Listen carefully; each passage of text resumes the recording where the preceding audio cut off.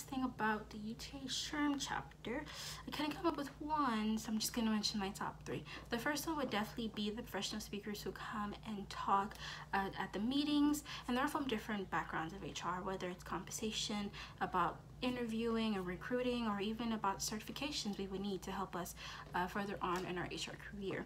They share their knowledge, their skills to give us advice and as well as create a bond and, and being able to network with each other.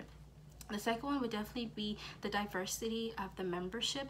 Being part of the College of Business and being HR based doesn't necessarily mean we only get one type of students. We have our management, we also have marketing, we also have finance, accounting, and economics.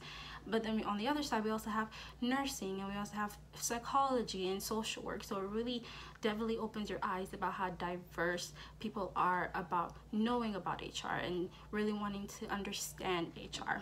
And the last one, would I say it's the best thing? I would definitely say it's up there, would be the president. I heard that the president, who's graduating by the way, is pretty cool.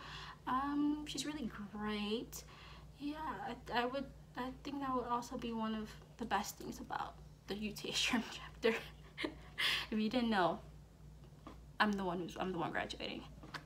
All right, thank you.